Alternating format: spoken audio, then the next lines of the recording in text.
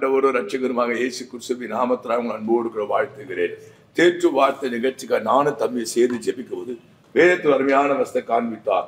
உபாகமம் புஸ்தகம் இருபத்தெட்டாம் அதிகாரம் ஐந்தாம் வசனம். உன் கூடையும் மா பிசுகிற தொட்டியும் ஆசீர்வதிக்கப்பட்டிருக்கும். Amen. அப்படின்னா என்ன அர்த்தம் சொன்னா கூட மாப்பு தொட்டி சொன்னால் பொருளாதாரம் என்று பொருள்படும் ஐயா என் பொருளாதாரம் பின்தங்கிய நிலைமையில காணப்படுகிறது. என் பொருளாதாரத்தில் முன்னேற்றம் இல்லை. வருகிறது போகிறதுமான ஆசீர்வாதம் இருக்கிறது. பத்து ரூபா வந்தா இருபது ரூபா செலவாகுதியா? பத்து ரூபா வந்தா பத்து ரூபா அப்படியே போடுறா பொருளாதாரம் முடக்கப்பட்டிருக்கிறதா? பொருளாதாரத்துல முன்னேற்றம் இல்லையா? பொருளாதாரத்தில் பிசாசி கிரியை பொருளாதாரத்துல ஒரு செழிப்பு இல்லையா? பொருளாதாரத்தை சாத்தான் கை வைத்திருக்கானா இன்னைக்கு உங்க பைனான்ஸ் கை வைத்த சாத்தானின் வெள்ளங்களை கர்த்தரை அழித்து போட இரட்டை ஊழியராய் ஒருமுனப்பட்டு அந்த கிரியை அழிக்க பிரார்த்தனை செய்ய போகிறோம். இந்த நாளில் உங்க பைனான்ஸ் ஸ்டேட்டஸ் மாறுகிறது அன்பின் பரலோக அருமையான கால கூடையும் மாப்பசு தொட்டியும் ஆசீர்வதிக்கப்பட்டு எழுதப்பட்டிருக்கிறதே வசனத்தின்படி பிள்ளைகளுடைய ஃபைனான்ஸ் ஸ்டேட்டஸ் மாறி பொருளாதாரத்துக்கு நெருக்கம் நீங்கி பொருளாதாரத்தை ஆசீர்வதிக்க ஜெபி பொருளாதாரத்துல மாற்ற வர ஜெபிக்கிறேன் கிறிஸ்துவின் நாமத்திலா ஜெபிக்கிறேன் பிதாவே. Amen. உங்க பொருளாதாரம் ஆசீர்வதிக்கப்படும் God bless you.